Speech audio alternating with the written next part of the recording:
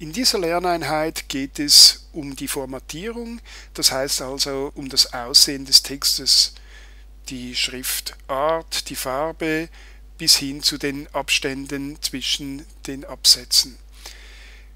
Wenn du die Materialien zur Lerneinheit entpackst, so bekommst du wiederum einen Ordner mit verschiedenen Übungen drin. Zu jeder Übung hat es eine entsprechende PDF-Datei, in der du eben siehst, wie es dann letztlich aussehen soll. Natürlich hast du schon oft Texte formatiert, das wird nichts Neues sein.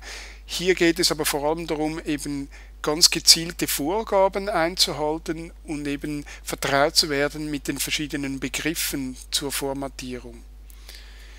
Bevor wir jetzt aber den eigentlichen Text bearbeiten, möchte ich dir zeigen, wie du die Dokumenteneinstellungen vornimmst, also quasi die Einstellungen, die das ganze Blatt betreffen. Meist werden nämlich die Seiten überfüllt mit Text und das ist für die Leserlichkeit nicht wirklich dienlich. Unter Format Dokument bekommst du also die Einstellungen, die die ganze Seite betreffen. Achte hier, dass hier steht gesamtes Dokument. Je nachdem, wenn etwas ausgewählt ist, betrifft das nämlich dann nur die entsprechende Auswahl. Für den oberen Abstand belassen wir es bei 2 cm.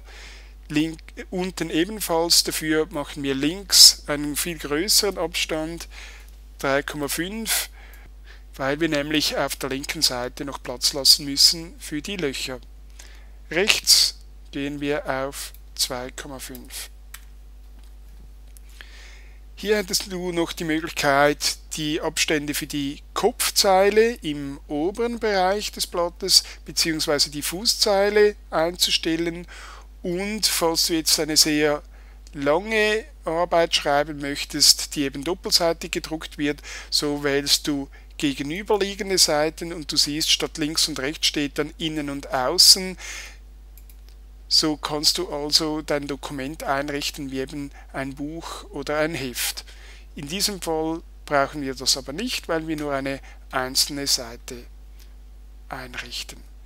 Wir bestätigen mit OK und diese Einstellungen werden sogleich übernommen.